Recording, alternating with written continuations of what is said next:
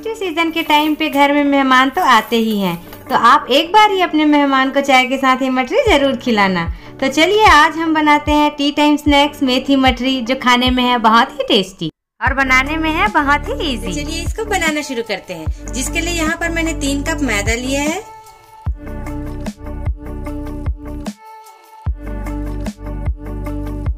One tablespoon salt half tablespoon कलौजी, जिसको करायत भी कहते हैं। टू टेबल स्पून घी। एक कटोरी मेथी। मैंने मेथी को अच्छे से सिर्फ़ उसके पत्तों को लिया है और उसको धो के बारीक कट कर लिया। सारे इंग्रेडिएंट्स को अच्छे से मिक्स कर लेंगे। अभी ये अच्छे से मिक्स हो चुका है। अब हम इसमें धीरे धीरे करके पानी डालेंगे। हमें पानी एक साथ नहीं डालना इसमें। हम थोड़ा थोड़ा करके पानी डालते जाएँगे और अपने आटा को गूंदते जाएँगे।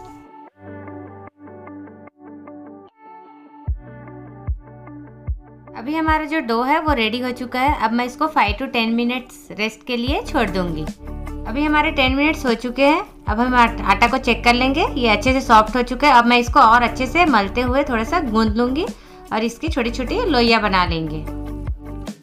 अभी इस तरह से इसको छोटे छोटे टुकड़ों में कट करके हम अपना लोइया बना लेंगे। इस तरह से इसको दबाते हुए मैं राउंड राउंड छोटी छोटी लोइया बना लूँगी और हम अपना जो सारी लोइया है वो इक्वल साइज़ के बनाएँगे, मेरी लोइया जो है रेडी है। इसी तरह से हम अपने सारी रोटियों को बेल के एक साइड में रख लेंगे। ध्यान रहे, हमारी सारी रोटी इक्वल साइज़ के ही हो, तभी जाके हम जब उसको लेयर टू लेयर एक के ऊपर एक रख के अपना रोल जब कट करेंगे तो वो अच्छे से कटेगा। इसी तरह से मैं रोटियों के ऊपर घी लगा के उसको एक के ऊपर एक चिपकाते जाऊँगी। इस तरह से हम तीन तीन रोटियों का एक लेयर बना लेंगे और उसको फिर अच्छे से हम प्रेस करते हुए फिर से उसको बड़ा करने के लिए फिर से बेल लेंगे। उसको हमें पतला रखना है, ज़्यादा मोटा नहीं रखना है तो हम उसको अच्छे से बेल के फिर उसका रोल रेडी करेंगे। अभी मैं इस तरह से राउंड राउंड घुमाते हुए उसको एक रोल बना लूँगी। फिर उसको हम छोटे छोटे फिर से उसका लोइया कट करेंगे। तो कट कर लिया है अब हम इसको बेल लेंगे। इस तरह से मैं छोटी छोटी मटरी का शेप बना लूँगी। अब बाकी की मटरी भी हम बना लेते हैं। अब अपने हिसाब से मटरी का साइज़ छोटी या बड़ी कर सकते हैं।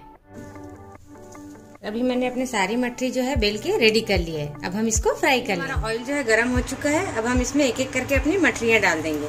ध्यान रहे जब ऑयल में हम अपनी मटरियाँ डालें तो ऑयल बहुत ज़्यादा गर्म नहीं होनी चाहिए। कलर आने तक हम इसको फ्राई करेंगे। अभी हमारी मटरियों में अच्छे से कलर आ चुका है। अब हम इसको निकाल लेंगे।